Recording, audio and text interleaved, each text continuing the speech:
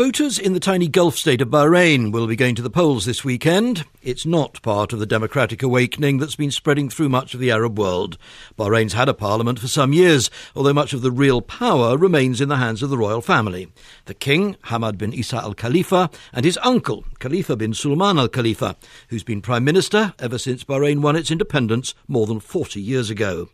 This weekend's election is for 18 parliamentary seats that were vacated earlier in the year when opposition MPs resigned in protest against the government's response to opposition demonstrations. More than 30 people have been killed in the protests, more than a thousand have been arrested. Human rights groups have complained repeatedly of serious human rights abuses since the protests started. Today, here in London, there was a demonstration by opposition protesters outside the Bahraini embassy.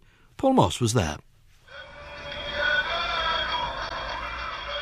There was music, there were flags, and there were slogans daubed on banners.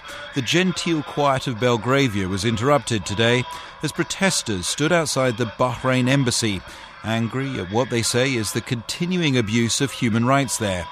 We are staying here, protest here, because the government doing everything. People died under the torturing, suffering too much, suffering too much. Now, you come originally from Somalia. Why have you come to a demonstration to show solidarity with Bahrain? Firstly, uh, I think uh, it's uh, an international issue. The uh, themes that the uh, February 14th movement actually upheld. This is the anti government demonstrators Absolutely. in Bahrain. Absolutely. They basically uh, aired very universal themes human rights and the extent of the brutality that they have faced for the last six months or so is totally unacceptable. It's six months since pro democracy demonstrations in Bahrain were put down. Campaigners there say at least 36 people were shot dead by security forces, and in the wake of this, 18 opposition MPs resigned their seats in protest. This weekend, there'll be elections in Bahrain to fill those empty seats. But the voting will not be free or fair, according to Dominic Kavakeb of the Bahrain Justice and Development Movement. The elections in Bahrain are an attempt to, to, to portray the country as being democratic. But actually, if you look at how, how the elections are made up, if you look at the voting boundaries, they massively disadvantage opposition areas. It's, it's crazy that in a country that has a majority of Shia, you still have a minority of opposition MPs elected. It just doesn't make sense.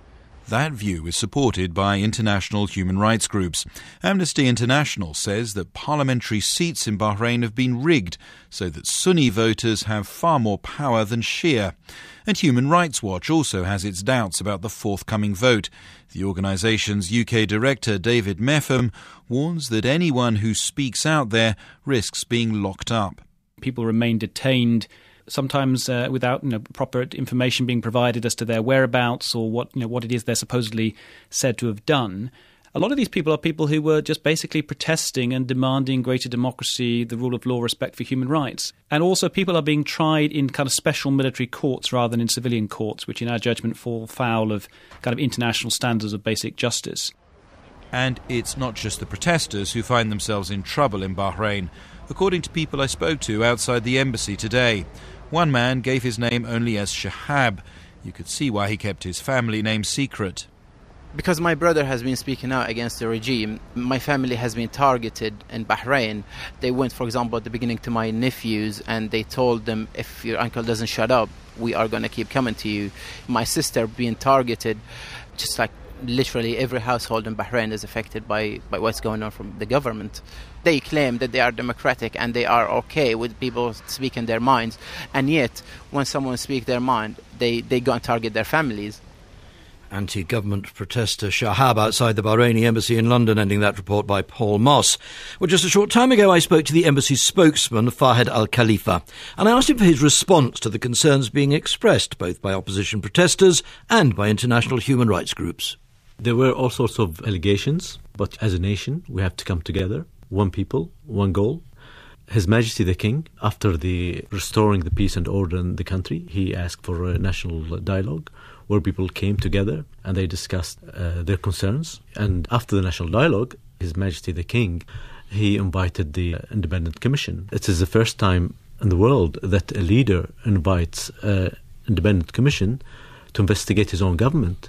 But We have- Amnesty International say, as indeed do Human Rights Watch, that they are not being allowed to do the kind of investigation that they would like to do to see how much of what they fear has been going on in the way of human rights abuses actually has been happening. Well, if there's any wrongdoings, whoever made the mistake or did something wrong will be punished. Only today, His Majesty the King actually issued a decree where uh, gives the people that were harmed during the crisis a compensation. There is something, though, seriously wrong, isn't there? In a country where you have 70% of the population belonging to one religious group, the Shia, 30% to the Sunni, but it is the Sunni, through the royal family, who govern, who have the power, and the Shia, the majority, who say they are discriminated against, who have no proper access to power, and indeed who often are dismissed from their jobs on the grounds that they are Shia. Bahrainis are one people. Of course, there are people who are uh, against, and you know we respect their opinion. And uh, Article 18 of the Constitution gives people the right, if they feel they are discriminated against, whether they are Sunni, Shia, Christian, or Jewish, they're all Bahrainis and they all have equal rights. Isn't the reality of Bahrain that all effective power remains in the hands of one family, the royal family? The king, his uncle, the prime minister, to a lesser extent the crown prince. You share their name. I don't know if you are yourself a member of the family. Yes, I am. Uh-huh. We are in the process of democratization. In 2002, there was first election. So, you know, it takes time for people to reach the full uh, democracy. Are you saying to us then that there are no problems in Bahrain? No, of course, I'm telling you that there's problems behind like anywhere else in the world. But we have to come together and talk about our problems. Does talking together, coming together, include the right to demonstrate on the streets, to protest?